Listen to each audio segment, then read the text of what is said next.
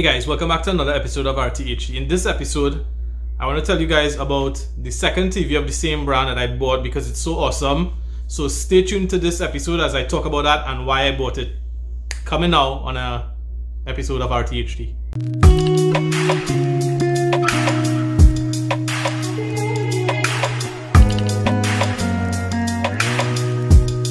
So you could just see how small this TV is. I believe it's 32 but compare that to what you're going to see here. And as you can see, this is actually what I was living with for the last uh, year or two.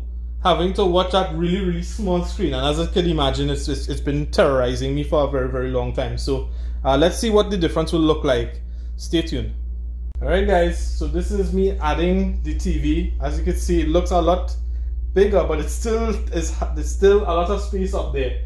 But I guarantee you that it is about twice as large as what I had. So it's going to be fairly decent to be able to see from there. Hey guys, okay, so I'm back. Um, so yeah, I was, uh, I decided to buy another TV like the one I had, which is actually the JVC 50 inch TV.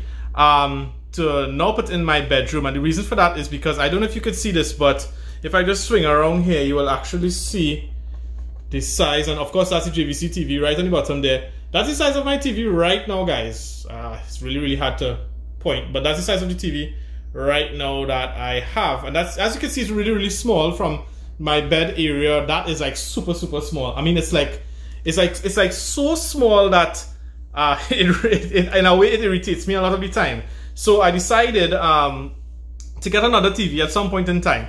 And it was all based, of course, on price because um, initially, when I bought my first JVC, it was on a Black Friday deal, and I actually got it for a little bit less than 500 US dollars. It was about 3,000 TT dollars, which is actually less than 500 US dollars. So that was good, especially because in Trinidad, you know, we have to pay import tax and all these different things in order to get um, a product in.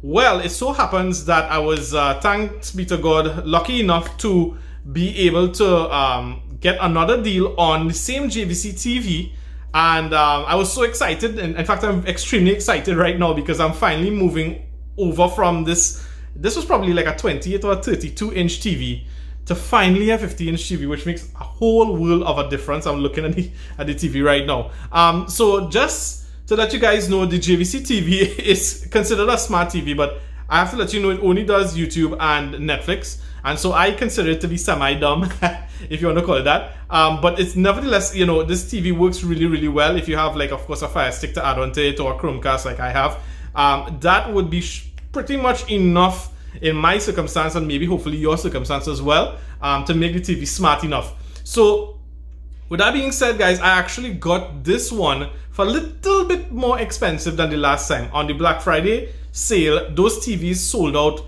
within a few hours, maybe like two hours or maybe maybe three hours. And that was because it was 3000 and you can't actually get a TV for that price, usually in Trinidad for that price, a 50 inch, of course, for that price. Um, well, I was able to get this one. It so happened that within this week that a few, I guess they were not remainders, but a few came in and they were selling it for 3100 TT dollars. Now, 3100 TT dollars is still probably a little bit less than uh, 500 USD. So that is an excellent price locally here. Of course, I know that in the US, you know, you could find TVs for cheaper and so forth. But this is a JVC brand. It's a fairly decent brand. It's not as supposedly as good as a Samsung. It's not as smart as the Samsung. But this is a TV that works so well for me currently that I decided to buy two. And um, I wanted to mention that this TV actually does come with a built-in type Chromecast, but it isn't a full-fledged Chromecast. And you might be wondering what I mean from that. So it is smart to some degree. You can actually cast uh, your YouTube app, if you have it on your phone, directly to the TV. And there is a, a, a, a cast device that pops up that allows you to cast there. However, it's limited. You cannot cast every single different type of app. You can only cast Netflix and YouTube to the TV. So with that being said, guys, if you are on a budget, I think this is a pretty good TV to purchase for that reason. If you want something with different apps and games and so forth, I would not recommend this TV, but it will do exactly what I wanted to do. And in the process, if you were to compare the price of a, this JVC TV, which is also a 4K UHD TV at 60 Hertz, compared to something like a Samsung equivalent around that price, you will notice that the price of the Samsung is going to be at least a thousand TT dollars more. Um, so this is a decent deal for an economical price and for being able to do the basics. This is a fairly decent deal for most people. So with that being said, guys, I just created this video um, just to you know talk about this uh, this this TV, and I'm not just talking about this TV because um, it's something that people are googling up. It's actually because I actually have one, and no, actually I don't have one. I have two. Um, so with that being said, guys, of course you can have a look at the other video where I actually did the unboxing and so forth because there's not really much unboxing. The nice thing as well, I probably should mention since already you're already on this video, is that um, it comes with USB ports that are powered as well. Um, so you can actually use the uh, you have USB ports to power. You can use the USB ports, I believe, too, for like photos and video as well too. And uh, it also comes with built-in Wi-Fi.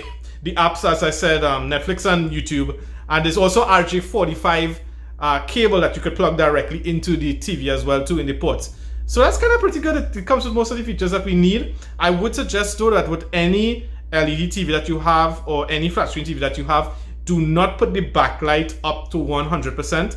Always keep it lower than that uh, because especially these LED lights, they tend to blow after a period of time. So the brighter they are, they tend to use up the, you know, whatever life it is and uh, it's sometimes tough to change those LED strips by yourself and you need to get other people and so forth. So that being said guys, you know, I haven't um, been on for very long but thank you so much for viewing and uh, if you have any questions about the JVC, if you have any questions about TVs, maybe it might be something that I might be able to answer as well too. Um, but with that being said guys, thank you so much for viewing and stay tuned to another episode of RTHD coming to a YouTube screen near you. Bye!